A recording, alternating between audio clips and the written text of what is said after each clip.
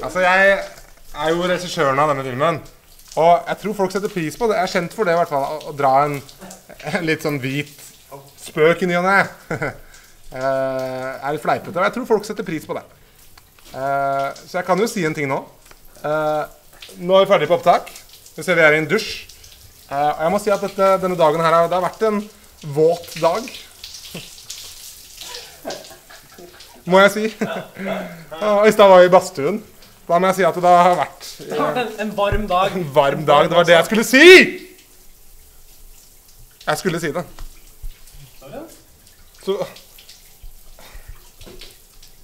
Jeg husker en gang jeg var ute i snøen. Filma en film i snøen. Skikkelig kaldt. Og så sa jeg da, etterpå da, til alle skuespillerne Alle bare satt og hørte på meg. Og så sa de 'Regissør, si noen siste ord'. Så sa jeg, så sa jeg Dere, jeg syns dette her har vært en kald dag.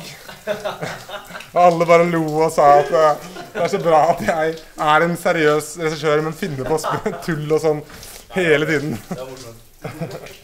Det var det en gang hvor jeg var, jeg var på et sted hvor det var skikkelig, skikkelig plagsomt på sett. da.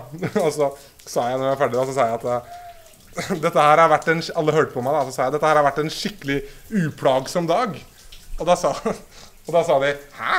Jeg syns det har vært plagsomt, jeg. Og da sa jeg Ironi! Ironi!